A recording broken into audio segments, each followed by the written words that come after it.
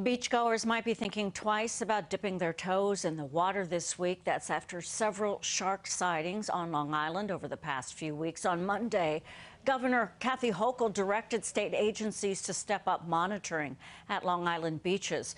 Swimmers can expect to see more lifeguards, more boat patrols, even drones on the lookout for sharks. Over the past two weeks, several people have had encounters with sharks, but researchers from the New York Aquarium say these incidents are not attacks. Now, they know this because they study sharks that live off our shores, and we can find out all kinds of good information uh, from them to see why are we seeing more of these sharks. Hans Walters is a shark biologist and field scientist with the New York Aquarium in Coney Island. Hans, welcome. Thank you for joining us. Oh, you're welcome, Dana. Thanks for having us. You are welcome. I can imagine you are getting all kinds of questions, very, very busy. Um, just let's be basic from the start. Why are we seeing so many more sharks?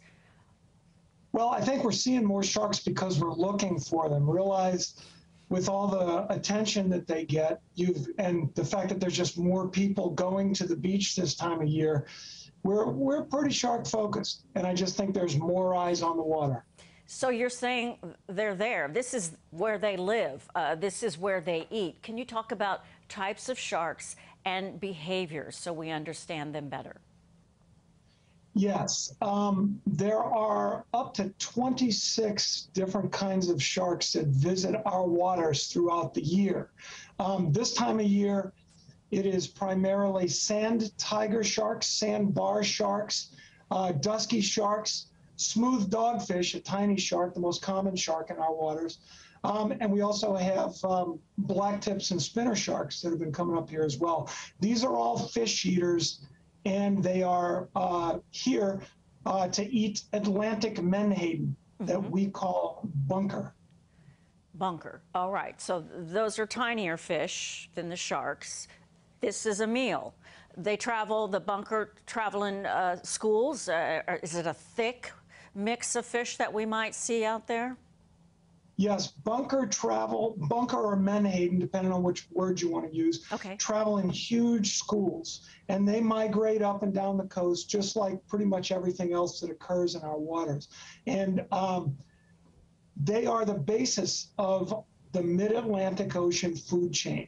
Whales eat them, dolphins eat them, various types of fishes, such as striped bass and bluefish, eat them, and sharks also eat them. You all take point with attacks versus biting incidents. Can we talk about that? What when the sharks see us, they're going for that food. They see legs or arms or whatever. What's going on? Well, the, I think the problem is they they don't necessarily see us, or when they see us, it's too late to make a course correction.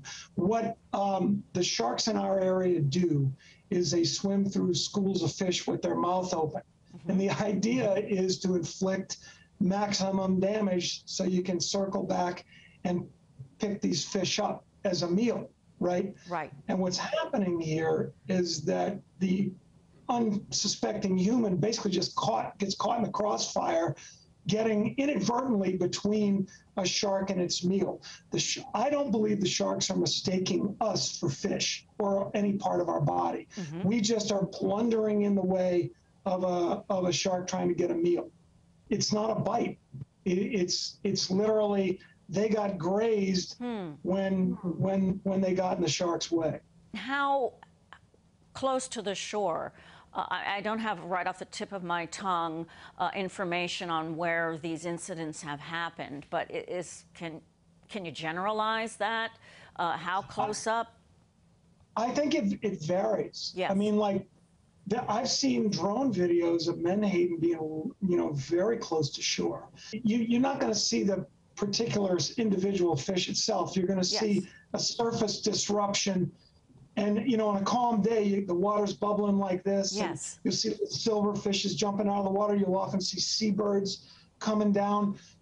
That's a sign that some, a prey animal is being driven up to the surface by a predator. Could be a whale, could be a dolphin could be bluefish, striped bass, could be sharks. Thank and you can see that. Um, tell us about your work and has this changed? Uh, just what's going on this particular summer? Are you doing different things because of what's happening? For the last decade, we've been studying sand tiger sharks periodically, which is one of the species that are commonly found along our shores. We also have them as animal ambassadors here at the New York Aquarium. You can come here and see them. Um, they're fish eaters. They migrate up in the summer and they leave uh, in the cooler months. And we found that that the bays along the south shore of Long Island are really important nursery areas for juvenile or young of the year sand tiger sharks. They're born down south, they migrate up here late May, early June. They use the bays as an area to find food that is of the size they want to eat and also uh, stay away from larger sharks that might consider them food. Hans, thank you so much. Um, I really appreciate the information you've provided us, and um, I really respect what you do. It's so important what you do. So thank you very much, you and everybody at the New York Aquarium. Thank you. You're welcome, Dana, and thanks for helping us get the message out. Sharks are our neighbors, so we got to respect them and share the ocean with them. There you go. Could not say it better. Hans Walter, shark biologist, field researcher at the New York Aquarium. Thank you for being here.